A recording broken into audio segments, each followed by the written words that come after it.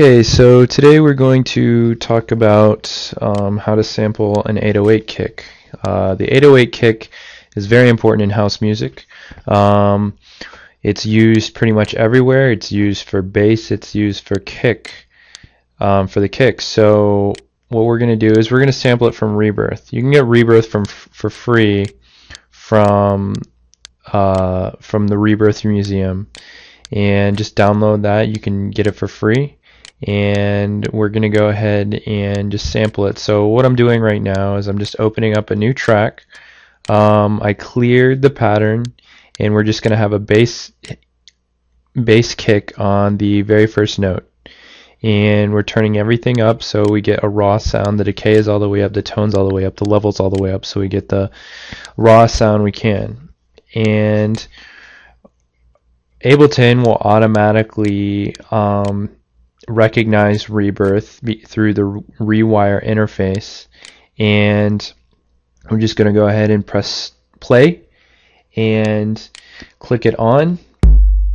And there's your kick right there. It's playing. We're going to record it. Um, the audio quality is not so good with this video capturing software um, but if you do this at home you're going to get a much better quality. Uh, right now it sounds kind of distorted but um, uh, it's it's not distorted at um it's it's it's not distorted from from my perspective. It's just the audio recording software. So what we just did is we recorded it. So now we have a straight up sample right here and you can see that. And we're going to crop that sample so we just have one kick.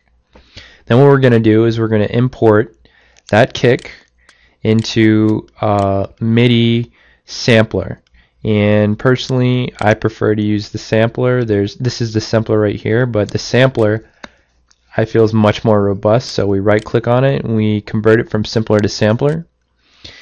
And this allows us to edit um, and edit an actual MIDI track using that kick sample as the basis for our MIDI notes.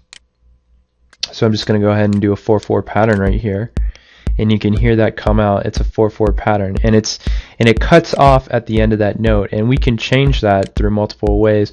One way is to increase the release time um, all the way up so it naturally falls off later.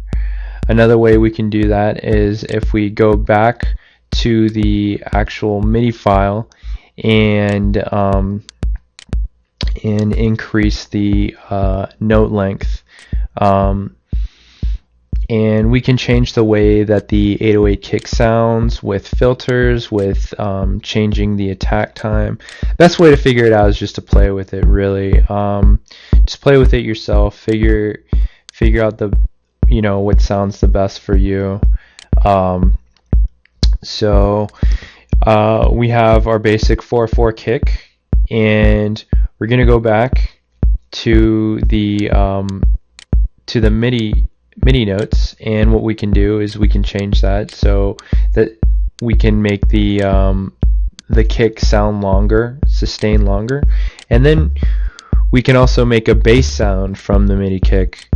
So um, this is this is done in a lot of house songs. It's just a sampled 808 you get a really thick nice sound because the um, the 808 kick is simply just a modulated uh, sine wave. So you get this really nice full bass sound in a club when when you play the song. So yeah, um, that's essentially um, how to sample an 808 kick. Uh, you can use it for all sorts of things. You can use it for a kick. You can use it for a bass sample. You know, you could pitch it up even more. Um, you know, and, and use it for different percussion and stuff like that. So, best way to learn is just, like I said, just experiment with it, experiment with the uh, release, experiment with the filters, experiment with the attack time, um, try layering it, um, uh, try using it for bass, etc., etc.